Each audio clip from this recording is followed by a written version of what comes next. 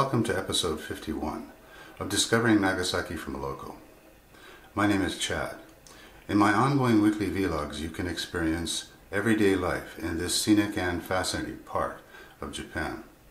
This week, Daniel Hausen and Denise Rollheiser were the only people to correctly answer both of last week's vlog questions. Thank you for answering my challenging questions.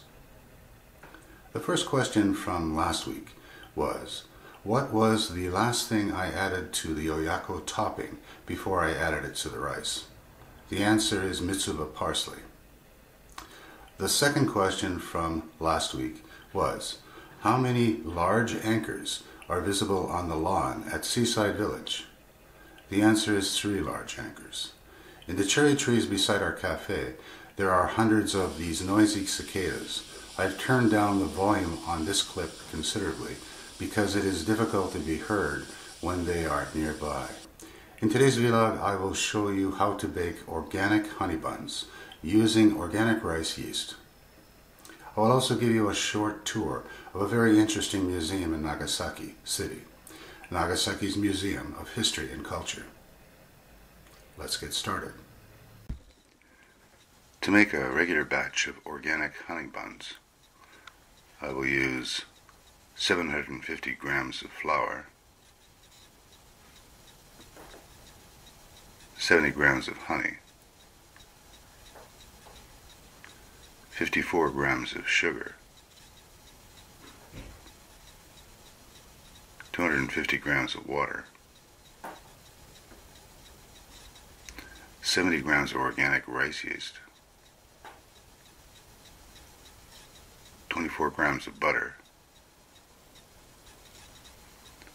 24 grams of skimmed milk powder, and 12 grams of salt.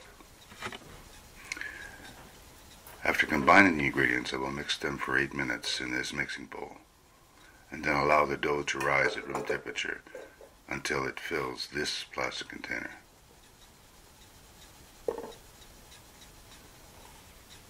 This is the incubator that we use to prepare our organic yeast. The yeast is incubated at 30 degrees Celsius for 24 hours. We use this slow rising yeast in all the bread we make.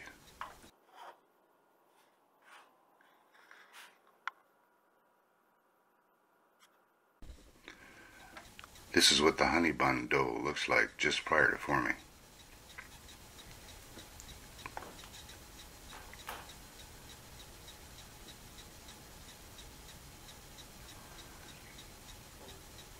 This dough is stickier than the other dough we make because of the honey inside.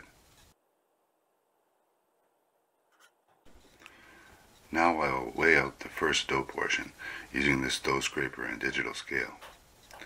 Each dough portion is 38 grams. I managed to get it on the first try.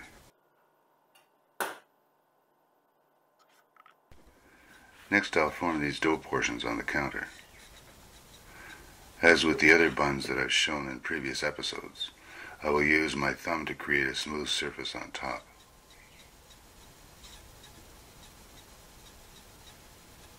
Then I will pinch off the creases on the bottom side of the bun, just like this.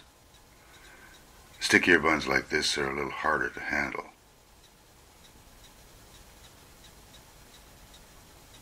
Now I have to repeat this for the remainder of the dough portions.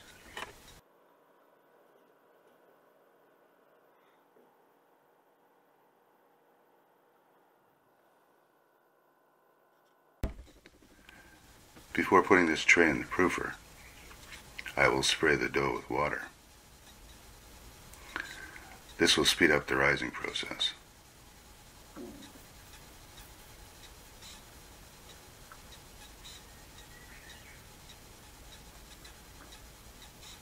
Beside this tray is my next batch of dough, in this case cinnamon roll dough. I made cinnamon rolls in episode 3. Because this batch of honey bun dough rises more slowly than other dough, it will spend at least three hours in the proofer, rather than two hours.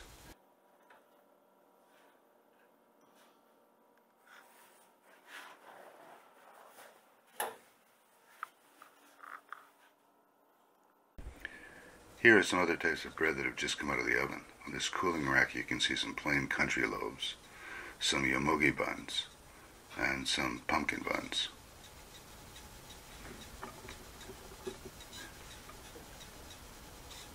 In the proofer, we now have a tray of butter rolls.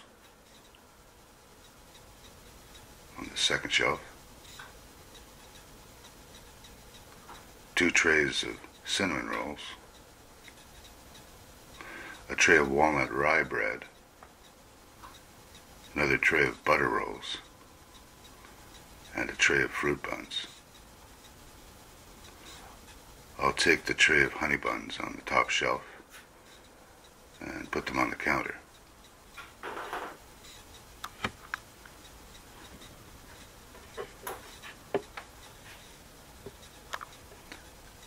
Now I have to spray them with water before I stick them into the oven.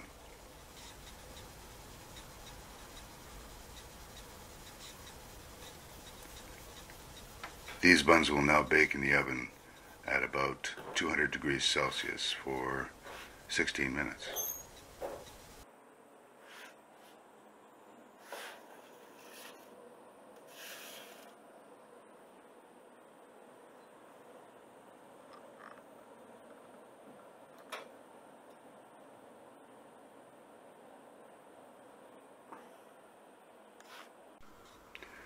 I'll shut the timer off before it hits zero.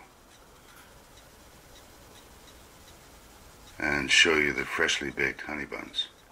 I'll definitely need an oven mitt for this.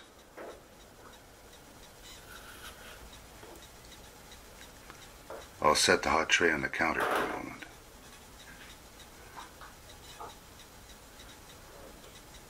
There they are, hot and delicious.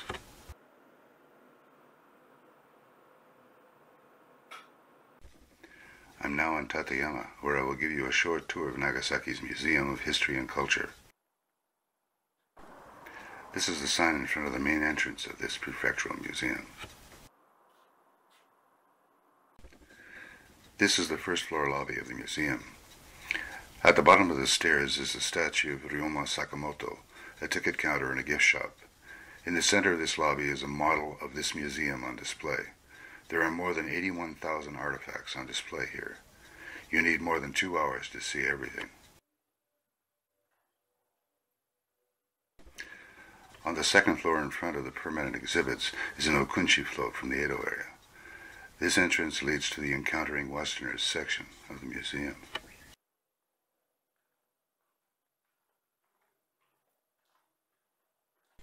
These posters describe the arrival of Western traders and missionaries in Nagasaki. In this display is a 16th century picture scroll of pirates, and on the other side of this aisle are two folding screens depicting the arrival of Europeans in Japan. In an adjacent room are displays of products handled by Dutch traders, textiles, spices, food, brushes, pottery, and animal artifacts. On my left are 17th century rolls of Dutch fabric on display.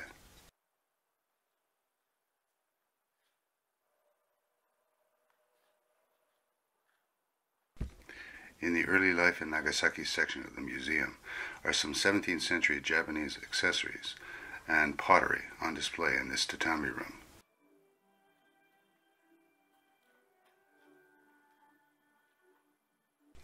This is a model of the 17th century house of Nagamasu Yamada in Nagasaki, and on my left is an Okunchi Kasaboko on display.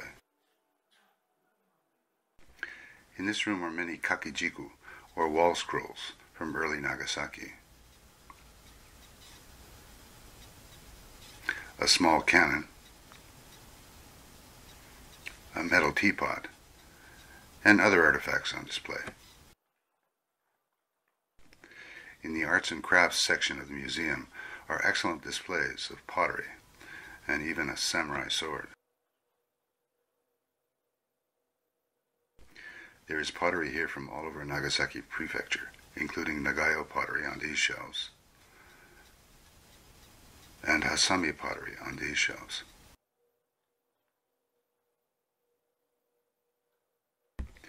There are also displays of kanzashi hairpins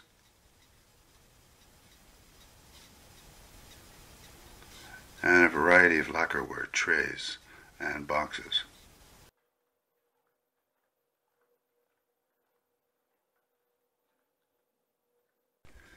In the China Exchange section of the museum is a Chinese folding screen and a model of the original Chinese residence area in Nagasaki during the Sakoku or Japanese exclusion period.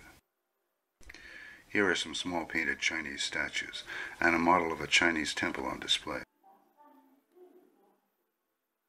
In the Dutch Exchange section of the museum is Philip Siebold's surgical toolbox and an antique Dutch clock on display.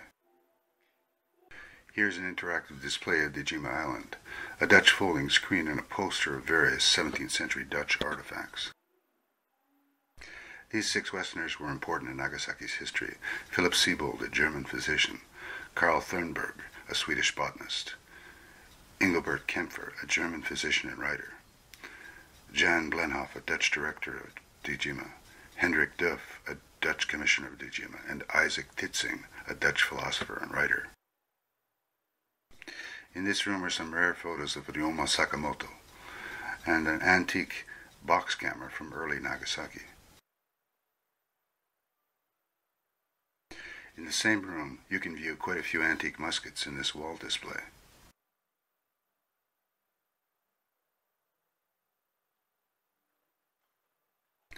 In this modernization in Nagasaki section of the museum, you can see many telegraph artifacts from early Nagasaki on display.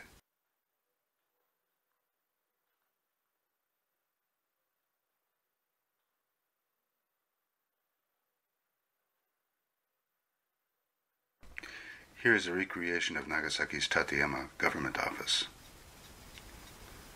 On both sides of this hardwood floor hallway are many large tatami rooms.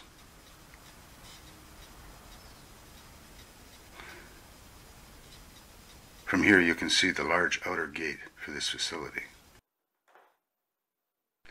As I walk across these tatami mats, you can see in the distance many of the trading artifacts that were administered by this Tateyama office.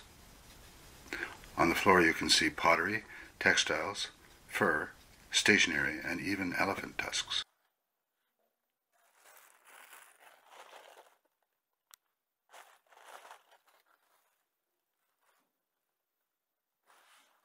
Right beside these displays is a viewing area for this museum's daily samurai plays, or geki.